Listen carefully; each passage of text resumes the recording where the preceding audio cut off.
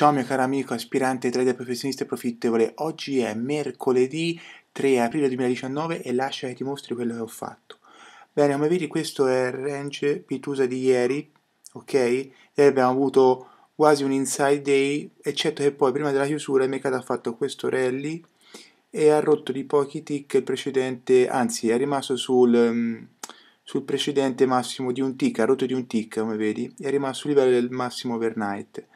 Bene, i livelli importanti della sessione pitusa di ieri erano questa linea magenta, quest'altra linea, questa linea magenta tratteggiata e quest'altra linea magenta.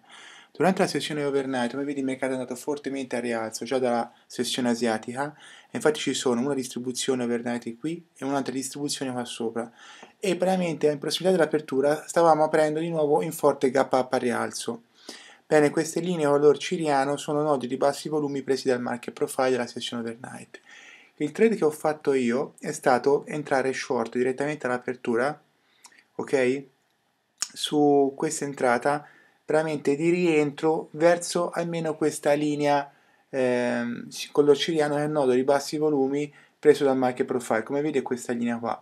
Ok, perché praticamente questo rally che è accaduto qua nella sessione overnight per me era un debole rally e il mercato doveva andare a prendere gli ordini qui e a, a, questa linea tratteggiata, questa linea tratteggiata è il POC della sessione overnight come vedi, quindi il mercato deve almeno arrivare almeno fine qui e qui prima di poi, andare, prima di poi invertire e andare long, ecco perché sono entrato short su questa entrata dinamica, bene il mercato come vedi sono entrato, questo è il grafico a 5 minuti, veramente mh, mm, il mio target è mh, mm, prima del VWAP, VWAP questa linea nera sul Super DOM e il questa linea qua, come vedi la sessione elettronica overnight. Bene, questo è il grafico P2 a un minuto, come vedi il mercato aperto andava subito a ribasso con una forte confidenza e quindi io ero, mh, mm, ero positivo nel senso che mm, sapevo che il mercato doveva andare a ribasso almeno fino a questo nodo di bassi volumi, questa linea color ciriano e poi fino a questo POC, questa linea tratteggiaria. Infatti il mercato poi vede al terzo minuto,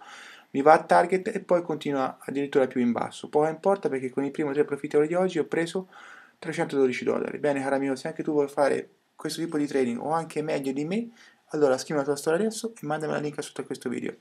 Ti auguro grossi grazie su così profitti in ogni tua prossima sessione di trading. Ciao da Almighty e ci vediamo domani al prossimo trade profittevole. Ciao!